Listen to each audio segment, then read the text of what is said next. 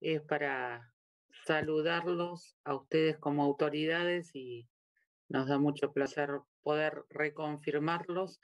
Saludar a Graciela, nuestra secretaria también de la comisión que no nos abandona, que está allí.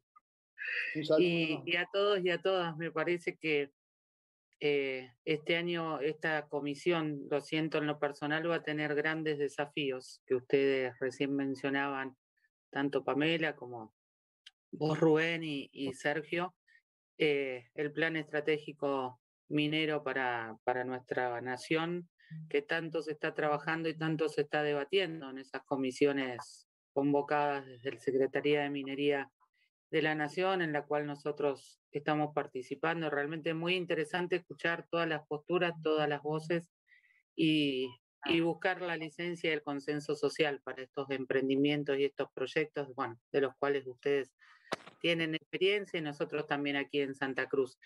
Me parece también que el desafío de, como lo hablábamos con el secretario de Energía, de una nueva ley de hidrocarburos, nos tiene que encontrar a todos, más allá de nuestras colores políticos trabajando en conjunto por los intereses de nuestros recursos naturales, de nuestras provincias y también por una actividad productiva que es sumamente valiosa e importante. Y la energía creo que tiene, por lo menos en nuestra provincia, la gobernadora lo ha puesto también en el ojo de, del objetivo, ¿no? Al desarrollo en los proyectos energéticos, porque somos una provincia rica en recursos naturales, pero también debemos cuidar en el desarrollo de esos proyectos eh, el propósito final, que es lo que logramos hacer todos en conjunto desde la comunidad y también hasta desde la formación técnica, tecnológica, educativa, donde se están desarrollando muchas carreras que tienen que ver justamente con esto, ¿no? Con el desarrollo energético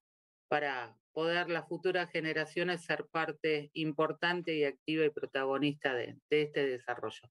Así que en ese sentido, desearles a ustedes como autoridades, desearnos a nosotras, eh, también a las mujeres, ¿por qué digo esto? Porque en las actividades productivas que tienen que ver con la explotación energética, las mujeres también van ganando espacio, así que allí a través de Pamela, nuestra vicepresidenta, pero vamos a hacer fuerza todos. Sería lindo algún día en el seno de esta comisión poder tener participación de trabajadoras que tienen que ver con el desarrollo de la energía en nuestro país, en nuestras provincias, y tenemos mucho para aprender de los aportes. Lo escuchaba Sergio recién hablar del litio allí en el norte, digo, me parece que que tenemos lindo trabajo y arduo durante este año. Así que que tengamos un buen año y a disposición. Muchas gracias, Ana.